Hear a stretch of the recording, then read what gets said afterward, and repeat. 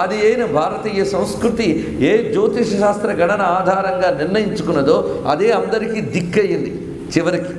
ఇంకా మనం చరిత్రలోకి వెళితే ఈ సూర్యారాధన నుంచి జ్యోతిష్ తత్వంలోంచి దినములు నిర్ణయింపబడ్డాయని ఇటీవల మీకు డావిన్సీ కోడ్ అనే పుస్తకంలో కూడా రాయబడింది అందుకే చాలామంది ఆదివారాన్ని పవిత్ర దినమని భావించడానికి కారణం ఆ సూర్య భగవానుడి దినం కనుక అది విశేషం.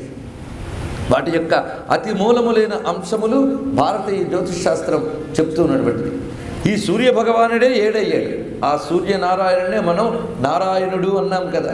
అందుకు నారాయణ చైతన్యమే ఏడుగా విభజింపబడింది. ఆ చైతన్యంలో మనం ఒక్కొక్క గ్రహాధిపతికి ఒక్కొక్క దైవం ఉన్నారు అధిదేవత దేవతలు వారిని కొలుచుకుంటూ ఉంటాం.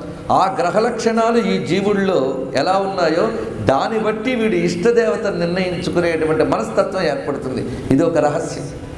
వారి వారి యొక్క గ్రహస్థితులు బట్టి ఇష్టదేవతను ఏర్పరచుకుంటాడు ఒకే సూర్యనారాయణ యొక్క తేజం మొత్తం ఏడు విధములుగా అయినట్లే ఆ ఏడు విధాలకి ఏడు శక్తులు ఉన్నాయి అవే గ్రహశక్తులు అని ప్రధానంగా చెప్పబడుతున్నాయి.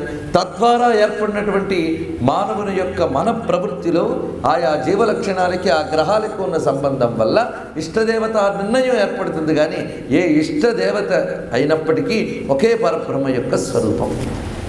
ఇలా మనకు నిర్ణయింపబడ్డ దినముల విభజన తర్వాత తిథి విభజన. ముందు పిల్లలకు మనం చెప్పవలసింది ఈ తిథులు వారాలు నక్షత్రములు కరణములు యోగములు ఇవన్నీ తెలియజేసి మన కాలగణన ఏంటో బోధింపజేయాలి. ఎందుకంటే మన కాలగణన ఏదో వ్యవహారం కోసం ఏర్పడింది కాదు. మానవులు నిత్య వ్యవహారం కోసం ఏర్పరచుకున్నది కాదు మన కాలగణన అదేవిధంగా దీనికి తిథులు ఇన్ని ఎందుకు కల్పించారంటే అవి అక్కడ ఉన్న వాటి బట్టి నిర్ణయింపబడుతున్నటువంటివి. పైన ఉన్న జ్యోతిర్గణముల ఆధారంగా ఏర్పాటు చేసినటువంటి కాలగణన మనది.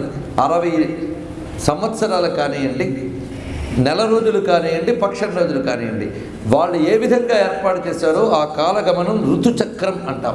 ఈ ఋతుచక్ర ప్రభావం ప్రతి జీవి మీద ఉంటూ ఉంటుంది.